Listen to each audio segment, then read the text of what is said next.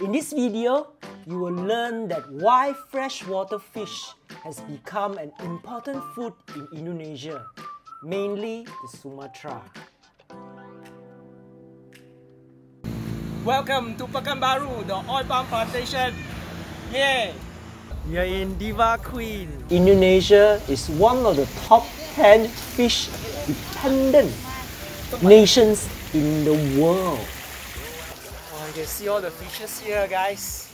And Indonesia has abundance of fish resources. This is Nila fish. Tilapia. Indonesia's aquaculture is more popular than saltwater fish because it's cheaper, better access logistically, it has export demand, and fulfill demand in a sustainable way throughout the year.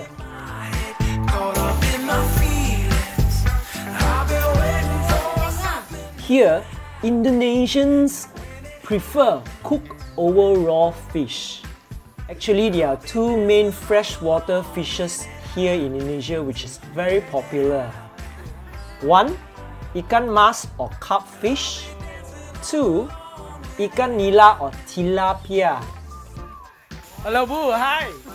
Halo. Ini ikan nila. Payah Omai.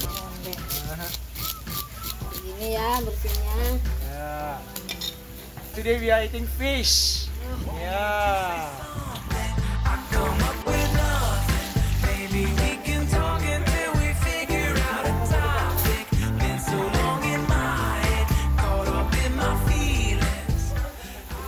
Grilled fish that we're gonna grill.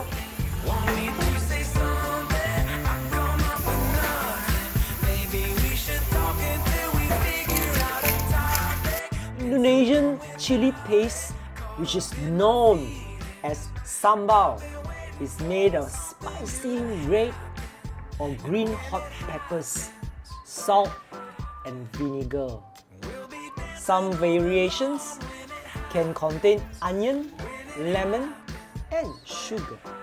Here we have the fish, the grilled fish. Daun cassava. We have the brinjal. We have the cabai hijau. Chili padi and onion. So we mix it with the kicap manis.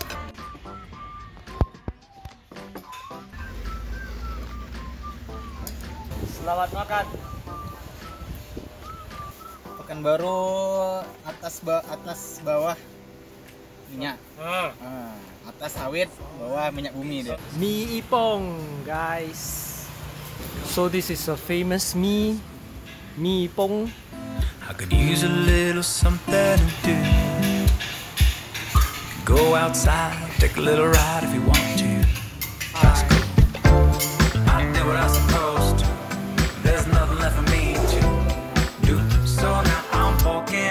Indonesian stir-fried noodle or mee goreng has become a staple food here. This is the famous mee goreng, Mie Ipong. Fried rice mixed with fried noodle, Minas. If you love Malay cooking in Malaysia, you would love Malay Riau cooking in Indonesia. Riau is one of the provinces in Sumatra. Furthermore, cuisine of Riau is heavily influenced by Malay and Minangkabau cuisines. Ikan tapah is also known as helicopter catfish. It can grow up to 2 meters and weighs up to 150 kilograms.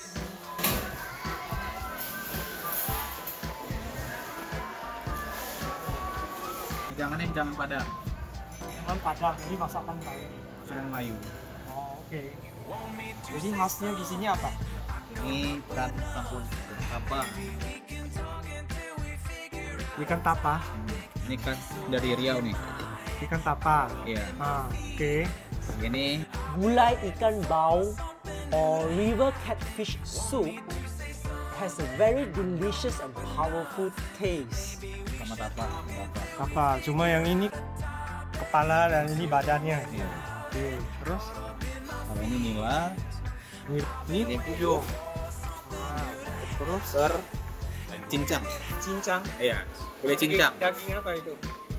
Satu. Sapi. Oh, oke. Ini kelapa goreng. Apa goreng? Iya. Sama udang.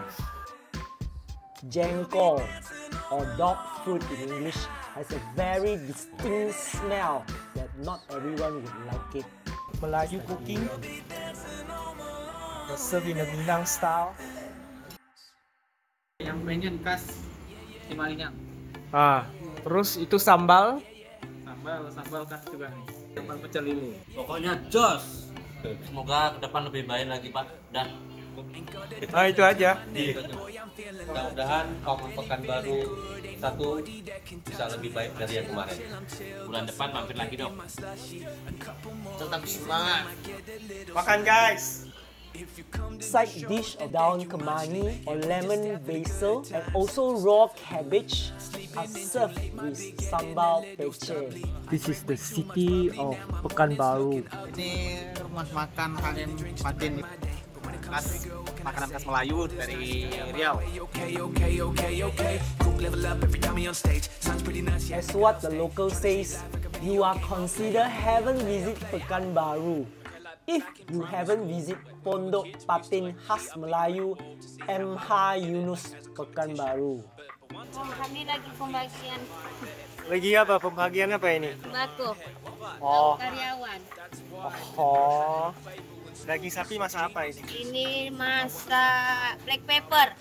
For Indonesians, food without rice is not proper meal.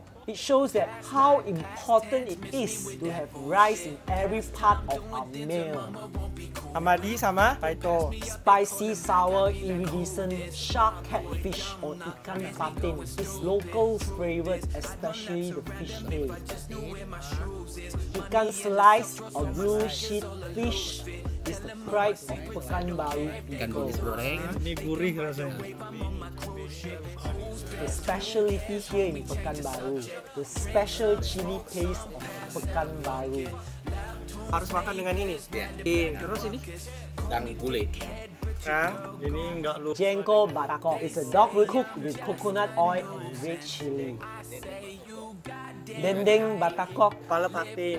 Masak apa ini? Masa asam pedas juga. Orang Melayu banyak suka kepala. Ini ikan bakar patin. Ini saya pakis tumis. Ini sama terong. These freshwater fishes in Riau are catch directly from the river. Siak River and Kampar River, Riau, Sumatra. satu spesifik ikannya sebetulnya ikan baung. Kita makan ya guys. Oke. Mantap. We are in Teh Talua. Talua means telur in bahasa Minang. Ini khas Teh Talua. Tapai. This is a specialty drink using the egg. Ini dari telur. Kandungannya baru ada tapai, sama ada fruit. This is a tea beverage from West Sumatra, Indonesia. The tea is unique due to its use of egg yolk in its preparation. You can either use chicken or duck egg. Ini, ini teh telur tapai khas dari salah satu khas minuman Minang dengan isiannya itu ada teh telur yang dikocok sampai dia memenuhi selanjutnya ditambah tapai dan ada tambahan fruit atau steak I see you in my next video. Bye. Okay, like back in primary school, like when we were kids, we used to like pee up the urinal wall to see how hard we could get it.